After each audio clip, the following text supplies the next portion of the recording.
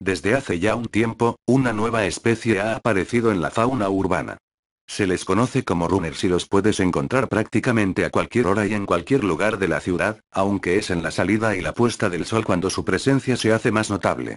La moda e incluso la gastronomía se ha rendido a sus pies. Se cuentan por cientos los productos enfocados a esta tribu y pocos son los que no cuentan con un corredor en su círculo más cercano. A la par que esta tendencia se hace cada vez más popular se oye una frase que ya es un clásico. Ya se arrepentirán cuando sean mayores, el cuerpo les pasará factura. En esta campaña que hemos desarrollado para confirmar o desmentir algunos de los mitos del fitness toca ahora hacer frente a este problema rumer. ¿Realmente las articulaciones se ven perjudicadas si corremos?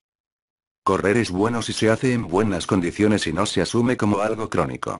La clave, como todo, es el uso y no el abuso, afirma el doctor de medicina deportiva de la Clínica Universidad de Navarra, José Calabuy. El entrenador personal Juan Ruiz López ahonda en esta afirmación. El impacto de hecho es bueno para regenerar los tejidos y los huesos, son un estímulo que evita que el cuerpo se degenere. El problema viene cuando se sobrepasa la capacidad. No tiene sentido que si no has hecho deporte en tu vida, sometas a tu cuerpo a un estrés alto. Tus tejidos no estarán adaptados y los sobrecargarás.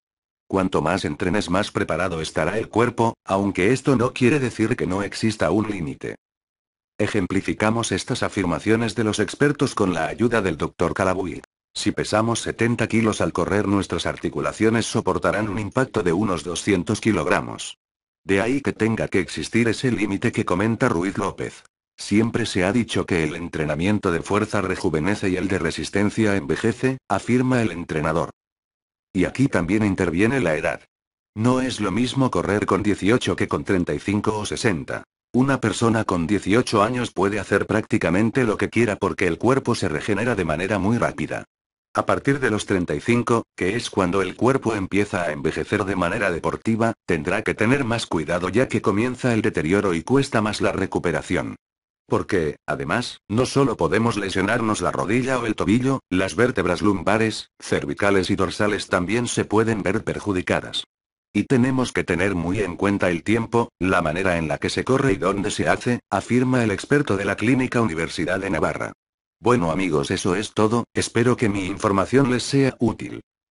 Si desean más información de cómo hacer para ganar músculos de una manera rápida y sana, solo deben dar clic en el link de la descripción del vídeo. Y no olviden suscribirse a mi canal.